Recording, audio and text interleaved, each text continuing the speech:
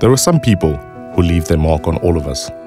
One such person was Nelson Mandela, a man so powerful that the apartheid government locked him away for 27 years. Out of sight on a prison island, people thought they would never see him again, but they held on to him through banned images like this, despite the risk of being caught by the brutal regime. On his centenary, Philips and the Nelson Mandela Foundation wanted to revive his legacy. So we gave people a chance to wear his iconic haircut and remember what he stood for. Well, to mark 100 years since struggle icon Nelson Mandela was born, the Shave to Remember campaign was born. Your Majesties, Your Royal Highnesses, distinguished guests, comrades and friends. The time for the healing of the wounds has come.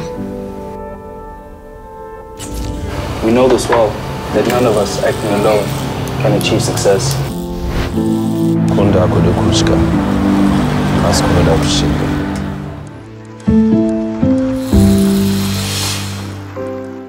After releasing our film, Philips Barbers traveled far and wide. From the streets to the suburbs to the most impoverished communities where Mandela's values are needed most.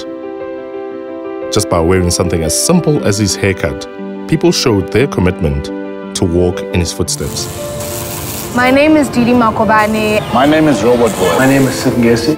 My name is Linda Sifumba. And I shave to remember. And I shave to remember. Philips shavers were distributed nationwide and proceeds were donated to the foundation to continue his legacy.